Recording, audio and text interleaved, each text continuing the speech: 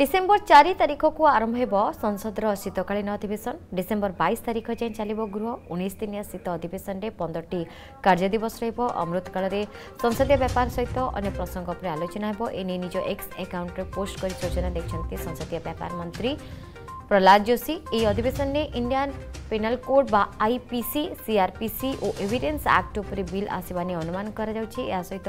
ମୁଖ୍ୟ ନିର୍ବାଚନ କମିଶନଙ୍କ ନିଯୁକ୍ତି ସମ୍ବନ୍ଧୀୟ ବିଲ୍ ମଧ୍ୟ ଉପସ୍ଥାପନ ହୋଇପାରେ ସେଭଳି ମହୁଆ ମୈତ୍ରଙ୍କୁ ନେଇ ସୃଷ୍ଟି ହୋଇଥିବା କ୍ୟାସ୍ ଫର୍ କ୍ୟୁରି ମାମଲାରେ ବିରୋଧୀଙ୍କୁ ଟାର୍ଗେଟ୍ କରିପାରେ ଶାସକ ବିଜେପି